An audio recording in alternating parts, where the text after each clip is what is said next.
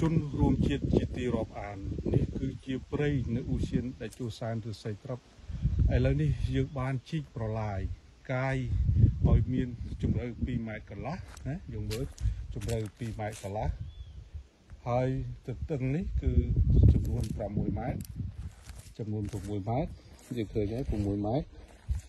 អឺទទឹង6ម៉ែត្រគឺកើតចេញមកអំពីការចូលរួមរបស់ ជនរួមជាតិតិចឬច្រើនគឺបានចេញពីសម្ដានចិត្តគិតទុកជាប្រវត្តិសាស្ត្រផ្លាស់ប្ដូរគំនិតឲ្យមនុស្សចេះស្រឡាញ់ធម្មជាតិថ្មីថ្មីរក្សាឲ្យបាន ជាផលប្រយោជន៍សម្រាប់មនុស្សជំនាន់ក្រោយអ្នកបើសិនជាអ្នកឃើញទស្សនវិជ្ជានេះពិតជាអស្ចារ្យព្រៃសែនរីរីស្វាគមន៍មនុស្សគ្រប់អាត្មាបងប្រាថ្នាឲ្យព្រៃយើងបាននៅគង់វង្សនេះជាមើលទៅនេះព្រៃយើងអស្ចារ្យណាស់អានេះគាត់ទៅខាងក្នុងចិត្តតែសិតតែសម្បូរហើយបាទ នេះគឺជាប្រឡាយដែលយើងបានជីកឥឡូវនេះគឺរយៈពេល8ថ្ងៃហើយបានប្រវែងចូលទៅ500ម៉ែត្រហើយបាទទៅដល់នោះហើយណាហើយដើម្បីរក្សាព្រៃឈើដ៏អស្ចារ្យនេះទុកឲ្យជុតចិត្តកាមេរ៉ាបានដឹងទាំងអស់គ្នាហើយយើងបានថាយើងបានធ្វើមិនមែនគ្រាន់តែនិយាយហើយសំដែងនោះទេ គឺការចេញមកពីជនរួមជាតិទាំងអស់ដែលបានជួយ ពីទឹកចិត្តដ៏ស្មោះសររក្សាព្រៃដ៏ល្អឲ្យបានគង់វង្សទុកទៅពេលថ្ងៃអនាគតនេះជម្រៅ2ម៉ែត្រកន្លះហើយដល់ចំណុចនេះយើងអឺធ្វើជាលក្ខណៈទេដើម្បីសัตว์អឺចូលធ្លាក់អីទៅវាចុះផឹកសឹកទៅក៏វាជ្រុលជើងអីទៅវាទៅវាអាចចេញមកខាងនេះហើយវាអាចដើរទៅហើយយើងទុកប្រឡោះឲ្យវាដើរឡើង ឡើងគឺ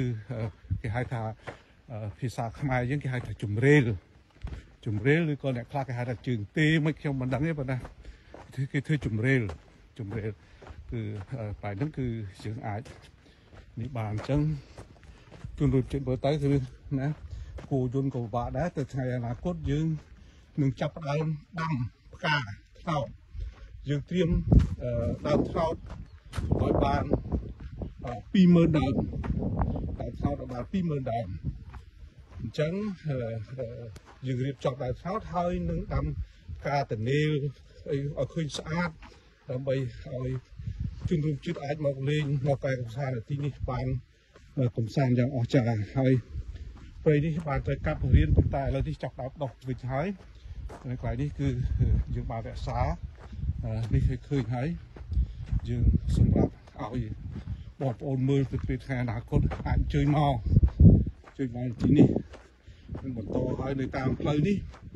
ខាងនោះគឺយើងរៀបចំធ្វើជាការគ្រប់មុខដែលដុះនៅទីនេះដែលដុះនៅទីនេះអញ្ចឹងយើងរៀបចំធ្វើបែបហ្នឹងអឺឥឡូវនេះហើយវាយបាក់នេះគឺចង់ជំរាបជូនជួបរួមជាថានេះជាជំរេលបាទតែថា100ម៉ែត្រ ប្រវែង100ម៉ែត្រវាធ្វើជ្រៀលមួយអញ្ចឹងសัตว์អាចឡើងតាមនេះបាននេះនេះណាចឹងអាចធ្វើជ្រៀលនេះបាននេះជ្រៀលទៅនេះបាននេះយើងអាចធ្វើជ្រៀលចឹងបានជ្រៀលវាឡើងមកតាមនឹងបានណានេះយើងឡើងមកតាមនឹងមករួចបានណា